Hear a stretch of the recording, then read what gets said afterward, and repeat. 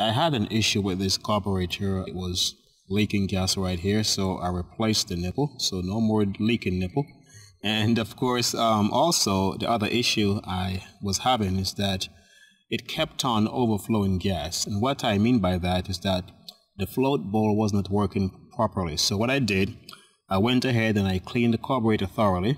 I'm just going to test it right now um, with the carburetor outside of the lawnmower to see if when the gas is turned on, if it's going to overflow gas here or here because if it's overflowing gas guys then you're going to get um, excess gas in the combustion chamber and that's not very good you could even have gas in your oil which you don't want so I'm going to test right now and hopefully my repair or my cleaning of the carburetor and the internals has helped. There was quite a bit of junk inside of this carburetor so I cleaned it thoroughly with carburetor cleaner. So we'll see what happens, all right? So let's hook it up right now. All right, so this is just temporary, just for testing purposes. I'm gonna put it right here, put it down flat, and I'm going to turn the gas on.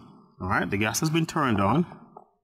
So we'll give it a few minutes just to see if gas is going to overflow right here or here.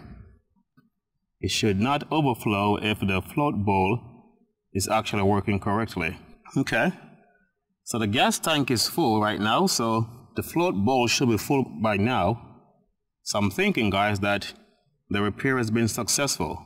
No overflowing of gas, and of course, there is no leaking right here. So I think I'm good to put this carburetor back on this lawnmower. So just a quick tip for you guys if you're having issues um, with your your lawnmower carburetor overflowing, then just take it apart and clean it and as I said, mine had a lot of debris inside of it, and it was preventing the needle from seating properly inside of the carburetor.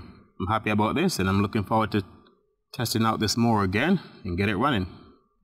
After all, it's summertime, right? Thanks for watching, guys, and Anthony coming to you live with this quick video.